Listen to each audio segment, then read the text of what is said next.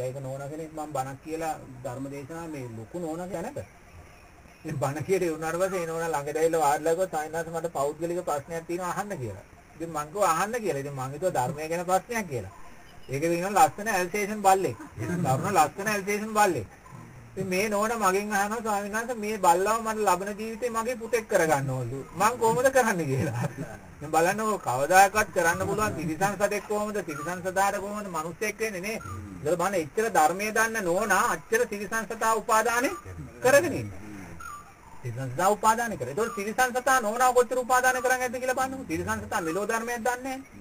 ඒ වගේ හරි භයානකයි උපාදානය කියන එක. මං කව නෝනා කවදාකවත් ඒක නම් ඔයාලට කරන්න හම්බ වෙන්නේ නැහැ.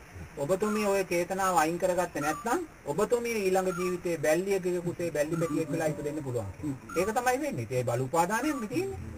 බැල්ලියගේ පටේ බැල්ලි පැටියෙක් වෙලා උපදින්න කිව්වා. ඉතින් ඒක තමයි වාදාන පත්‍යා බව. හරි භයානකයි එතන. ඒකයි කියන්නේ බුදුරජාණන්සේ තිරිසන් සතුන් අයින් කරන්න කියන්නේ මේක. අපිට ඉන්න බෑ. මේකේ පරිජෝඩුවක් ඉන්නනම් අපිට ඉන්න බෑ. අපි යන්න ඕනේ. අපි හිටියොත් ඇවතක්. මේක ගේ කුරුළු ජෝඩුවක් ගයක් හදාගෙන ඉන්නම් අපිට ඉන්න බෑ. අපි යන්න ඕනේ. ඒක ඇවතක්. නැත්තම් කැපකරුට කියන්නේ අයින් කරන්න කියලා. ඒ විනය අපිට කියලා තියෙනවා. මොකද තිරිසන් සතාගෙන් අපි ඒ තරමට ඈත් කරලා තියෙනවා. මොකද තිරිසන් සතුන් නිසා අපි තුල කාමයේ සකස් වෙනවා.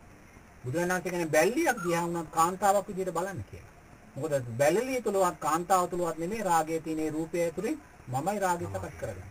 ඒ නිසා බුදුරජාණන් සේව තිරිසන් සතුන් අපි සම්පූර්ණයෙන් බහැලා කියලා තියෙනවා. අපි ගාන්දර ඉතුරු ටික තිරිසන් සතුකෝ දෙන්න කියන්නේ නැහැ බුදුරජාණන්. වත් සතුන් නැති දලයකට දාන්න කියන්නේ. පා කරලා අරින්න කියන්නේ. තනකොළ නැති පොළොවකට දාන්න කියන්නේ. ඒ සතාට දුන්නොත් ඒකදර ආරම්භන සතුන්ද සතුන්ට අපිට කැම දෙන්න බෑ.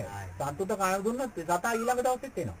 ඊළඟ දවසේ ආ දෙන්නෙක් එක්ක ඉන්නේ. ඊළඟ දවසේ රැළම එනවා. ඊළඟ දවසේ හාමුදුරන්ට කාමයේ සකස් වෙනවා. එවැනි දේවල් අතීතයේ ඒව ගොඩක් සිද්ධ වුණා. ඒ සිද්ධ බුදුරජාණන්සේ විනය පනවන්නේ ඒවා සිද්ධ වුණ නිසාමයි. ඒ නිසා ඒවෙන් අපිව බැහැර කරලා තියෙන තිරිසන් සතුත් එක්ක අපිට කිසිම ගනුදෙනුවක්. අපි සම්පූර්ණයෙන්ම අයින් කරලා තියෙනවා. දැන් බුදුරජාණන්සේ පැහැදිලිව විනය පනවලා තියෙන දේවල්. ඔව් ඒ වෙච්ච දේ නිසායි කළේ.